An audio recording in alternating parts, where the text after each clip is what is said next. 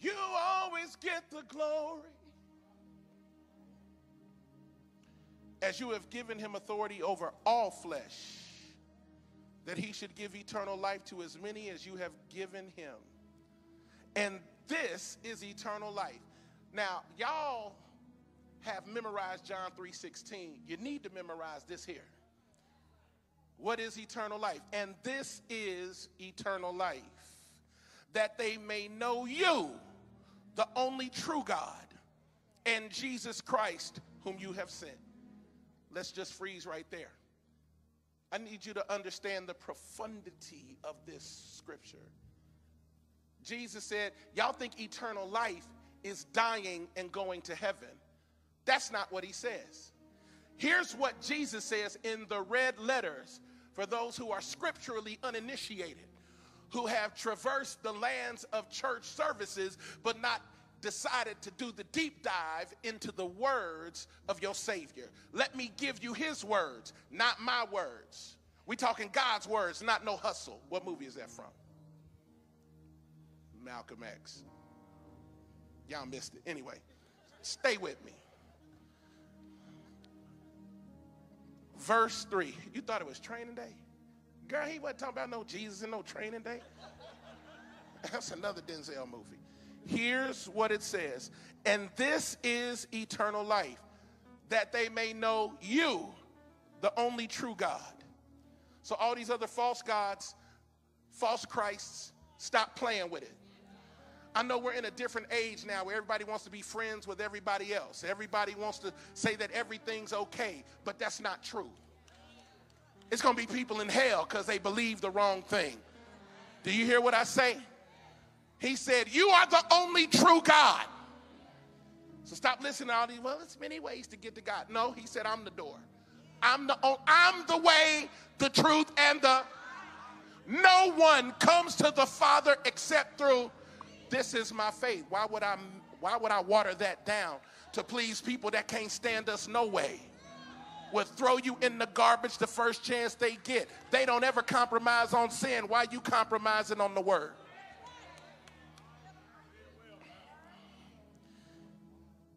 This is eternal life that they may know you, the only true God, and Jesus Christ, whom you have sent. I have glorified you on the earth. I have finished the work which you have given me to do. And now, O Father, glorify me together with yourself, with the glory which I had with you before the world was. Help me, Jesus. And now, Father, glorify me together with yourself, with the glory which I had with you before the world was. Jump down to the 17th verse. Sanctify them by your truth. Your word is truth. There's another one, and, and I can tell by the silence that we have not yet gotten the quickening of the Holy Ghost on the power of this scripture. Sanctify us, set us apart by your truth. Your word is truth. So get this thing out of your head where you've been telling people live your truth. That ain't biblical. That's carnal. That's secular humanism. Live your life, do it your way, live your truth because after all, who can tell you what to do? Well, the manufacturer can tell you what to do because he made you and he made you for his own purpose. And if you get out of his will and out of his warranty and then you get injured, don't expect for your car parts or the spiritual parts to be fixed because you were outside of warranty.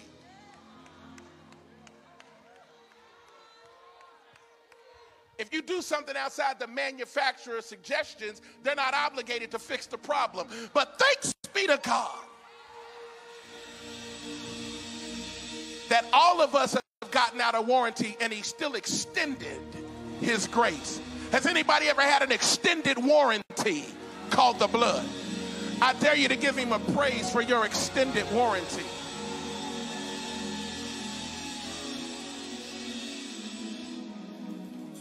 Sanctify them by your truth.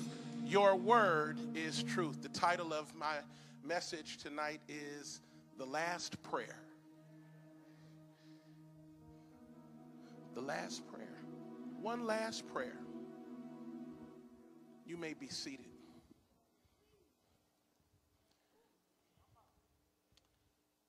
Fifty-five years ago tonight in Memphis, Tennessee, there was a preacher who was a graduate of Morehouse and Boston University and Crozer Theological Seminary. He was 39 years old. He was married. He had four kids. He was just a preacher. He didn't have a Facebook page. He had no Instagram. He wasn't a wealthy man. But he loved God. Is there anybody in here 39? Any, any, anybody 39, 40? Let me see. Just stand up. If you're 39, 40 years old, somewhere 38, 39, 40, let me see. 39, 40 years old. Just stay standing. In his 39 short years, he won a Nobel Prize, shifted culture, met with kings, presidents, dignitaries, garbage men. See, because if you can't meet with them, you can't meet with them. Y'all can be seated. He was in town to help some sanitation engineers who were fighting some dishonorable work conditions, including wages and how they were treated. And he began to preach what would be his final sermon. And among the things he said is I've looked over and I've seen the promised land. I may not get there with you, but we as a people will get to the promised land. Many people would assume that he was speaking about African Americans, but that would be too myopic for a man that large. He was talking about those who have suffered grave injustice. There was a parallel between this man and Moses, who saw the promise but never walked in it. 55 years ago, today, double grace, Holy Week, he preached his last message, and then the next day, as he was on the second level of the Lorraine Motel, as he was giving instructions on what song he wanted sung at the service, a sniper's bullet lifted him off of his feet and onto his back while his blood left his body and began to cry out from the ground the same way Abel's blood cried out from the ground for justice. I think about the sacrifice of that moment and how tragic it was. The tragedy of Dr. Martin Luther King's assassination is not lost on me in a country that still has its challenges and issues, from political to spiritual to environmental. And here we are as a culture, and we are still so hungry for entertainment, so hungry for validation that Instagram made $660 million selling blue check marks so people could feel validated when the blood already did that.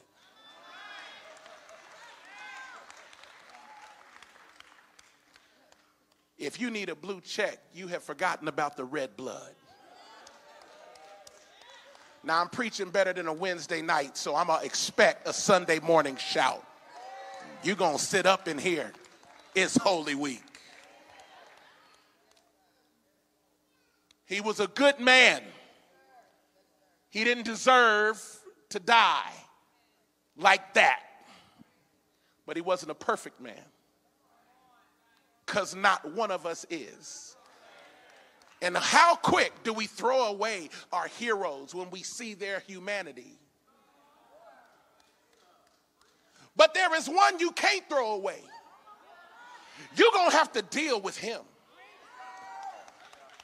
because he lived 33 years spotless, sinless, holy, And if you choose to read John 17 throughout the rest of this week, which I implore you to do, you will find his words where he said, I sanctify myself for the sake of those that you have given me, that they may be sanctified in me. What he says is, I discipline myself to set myself apart, to live a holy life, so I can be a living example to the men that you gave me, so that when I leave, there will be no excuse for them to live an unholy life because they saw the discipline, the passion, and the commitment with which I live my life. You can say a lot of things about him, but you can't say he was a sinner. You can't say he was for himself. You can't say that he was a mean, self serving individual. He was loving, compassionate, kind, met with lepers and poor people and broken people and women who had five husbands and was living with a man. He would lift up people who were in the middle of adultery, caught in the act, and still set her free while correcting the people who wanted to kill her. He was a bad man. He was an unstoppable king. They wanted to kill him before the the they tried to put their hands on him, he would slip through the crowd because you can't touch me until it's time. Now I feel the Holy Ghost, and I'm gonna need somebody to give God a praise in this place.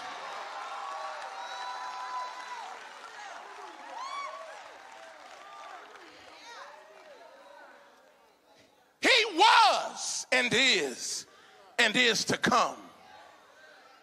Oh, he was a bad man. Even his spit could open your eyes. Oh, I need you to wipe your eyes again and look in the mirror and say, I'm a spitting image. Oh, oh. Now I feel the Holy Ghost in here. Tell somebody I'm a spitting image.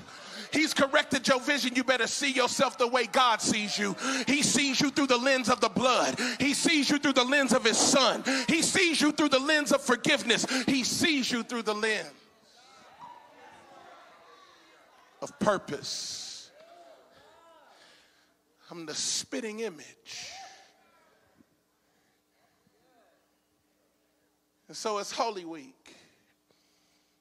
And as I was shedding tears, in my office, I started thinking about Jesus. Jesus. Jesus the Christ. Oh, Lord, help me. Give me the strength to finish this message. Jesus. Ah, the humble servant. Jesus. The carpenter. Jesus.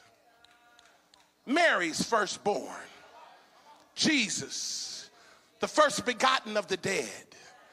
Jesus, who is throughout all scripture from Genesis to Revelation. Jesus, the Aleph and the Tav. Jesus, the lamb that was slain before the foundation of the world. Before there was a here, he was there.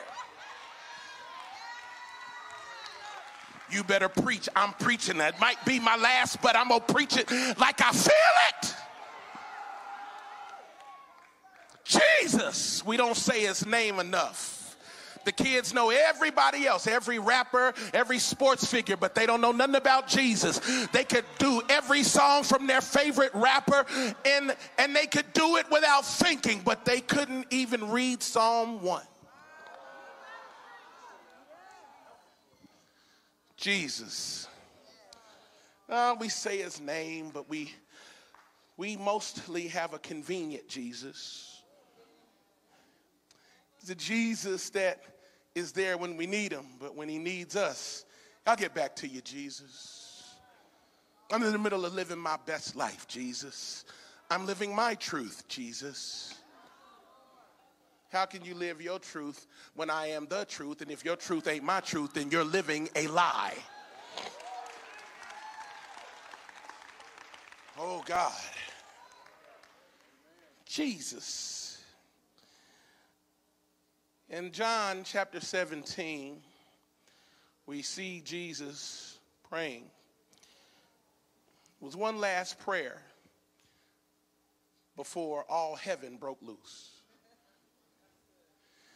Now, some of y'all saying, no, it went bad. All hell broke loose. No, no, no, no. You haven't read Job. Devils don't do what they want. Satan has to clock in. He's an employee. That fool is an employee. He's not an employer. Oh, help me. And he's unemployed. He was the worship leader. We got that job now. I need somebody to help me. He can't even clock in. We got the job. Scoot over. We'll take it from here. Glory. Hallelujah. Hallelujah. Salvation and glory, honor and power unto the Lord our God. For the Lord our God is mighty. Yes, the Lord our God is omnipotent. The Lord our God, He is wonderful.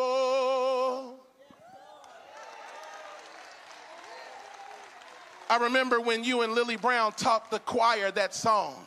It touched me because the altos would come in. All praises be to the King of Kings and the Lord of Lords. He is wonderful.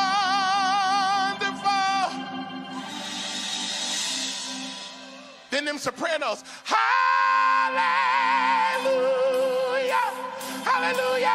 Hallelujah, hallelujah, hallelujah,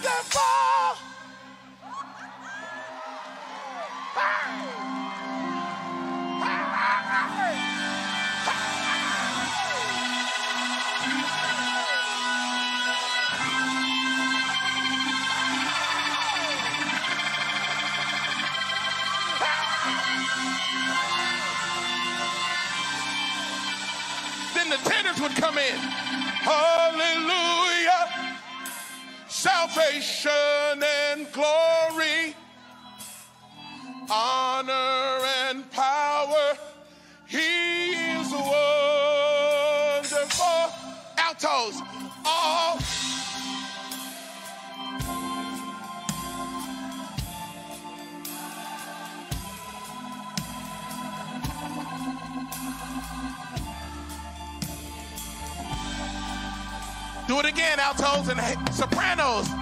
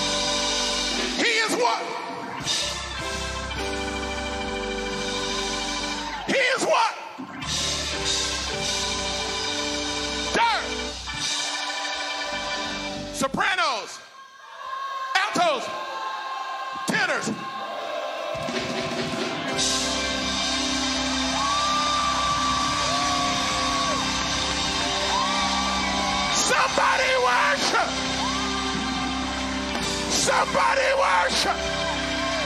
Get out of your seat and worship.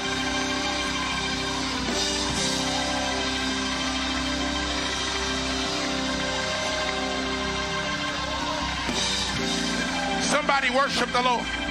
Get out of that seat. Oh, bless his name. Oh, bless his name.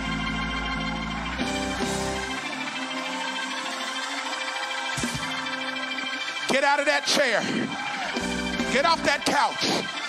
I dare you to walk around. Somebody tell, say it, he's wonderful. You still in your seat. I need somebody to move around this place.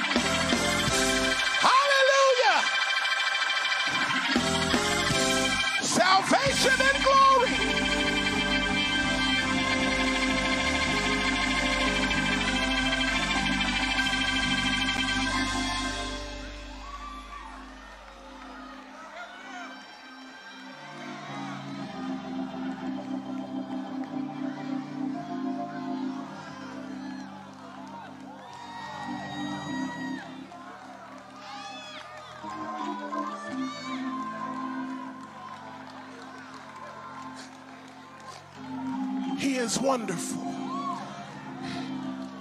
Is there anybody else like me who believes he is wonderful?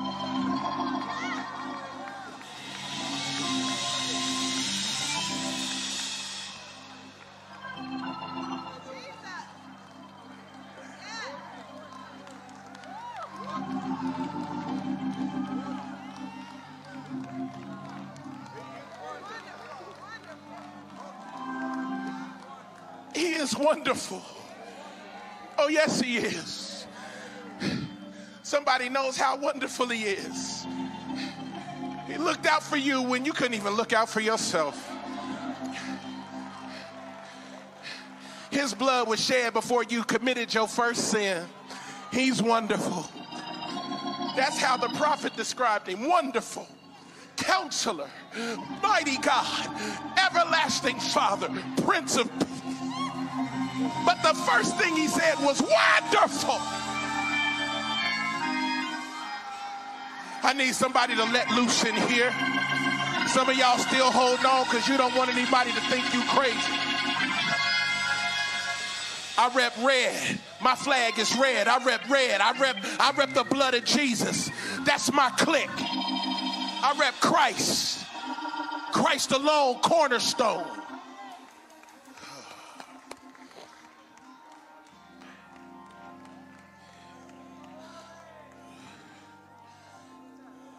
Jesus, wonderful Jesus, the carpenter's son. he, he said, I, I came to serve, not to be served. Started looking at my life like, man, nobody carried Jesus' Pentateuch for him. Thank you. I'm glad we have a Bible scholar. Basically, the Pentateuch was the Hebrew Bible written by Moses. Now, the King of Kings should have a parade of hosts in attendance, but here he was just walking into the temple, sit down, open the book, blow your mind, walk out. He was doing that since he was 12. He was, he was making the rabbis realize how dumb they really were. And he wasn't even trying. He was just asking questions like, now tell me about this. How do you interpolate that? Help me with that. Because here's what I get from it. And I should get it because I wrote it. For those say he wrote the Pentateuch, read Hebrews. Behold, I come in the volume of the book. It is written of me to do the, your will, oh God. Every book points to Jesus. Every book came from Jesus.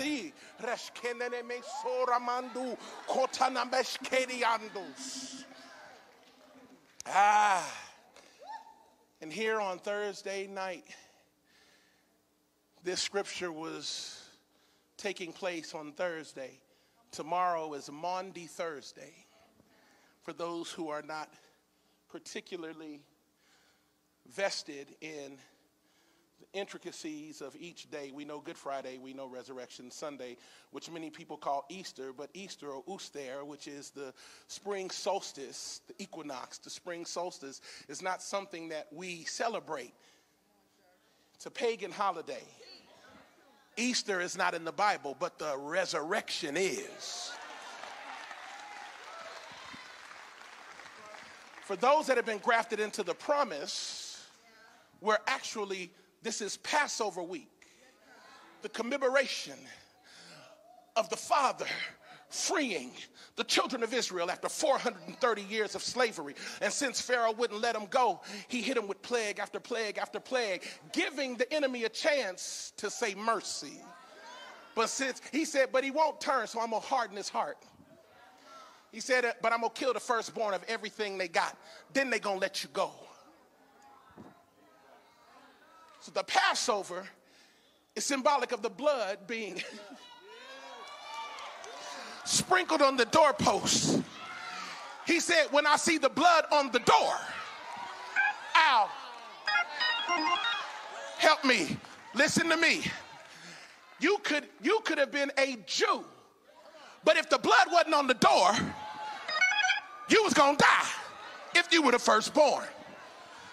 This needs to give you some, some freedom in your house because there's some folk in your house that ain't doing right. But because you're there, the blood is on the door until they get it right. He gonna pass by. You better. Oh my God. Does anybody hear what I'm saying?